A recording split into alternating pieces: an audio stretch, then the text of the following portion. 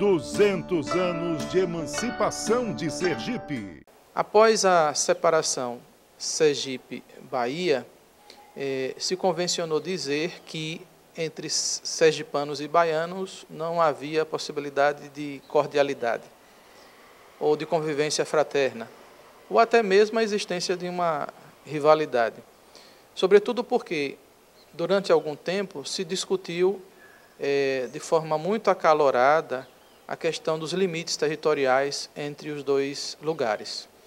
É, discursos na Câmara, é, tratados intelectuais que, de certa forma, criaram essa peja de rivalidade entre baianos e sergipanos. Acontece que, ao longo dos anos, a história mesma foi mostrando que sergipanos são acolhidos na Bahia com fraternidade e, de igual modo, baianos são acolhidos com fraternidade em Sergipe.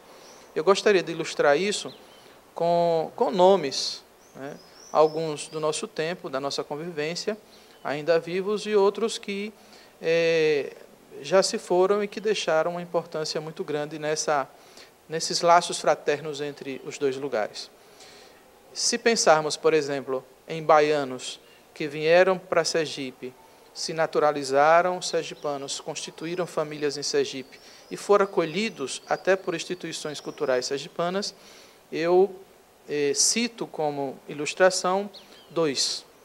Claro que são vários, mas dois, a meu ver, representativos do nosso tempo.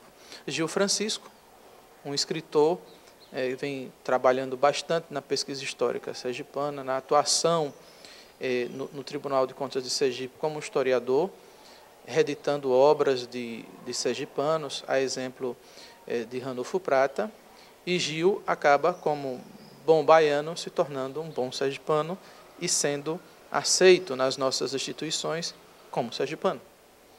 Eh, outro exemplo é o poeta Estácio Bahia, membro da Academia Sergipana de Letras, que também constitui família em Sergipe e acaba eh, mostrando que esses laços entre Bahia e Sergipe são fraternos e acolhedores. Do lado de lá, podemos dizer a mesma coisa. Por exemplo, o doutor eh, Geraldo Leite, um médico que vai para a Bahia, vai morar em Salvador, se naturaliza baiano e atua de forma decisiva no combate, por exemplo, à tuberculose lá em Salvador, mas também em diversas academias literárias. E um exemplo muito conhecido de todos, sobretudo na Bahia, é o sergipano Bernardino de Souza, já falecido, é, grande intelectual, grande arquiteto, que vai influenciar decisivamente em alguns aspectos da cultura baiana, como, por exemplo, a, a, a projeção da sede da, do atual Instituto Histórico, Instituto Geográfico Histórico da Bahia.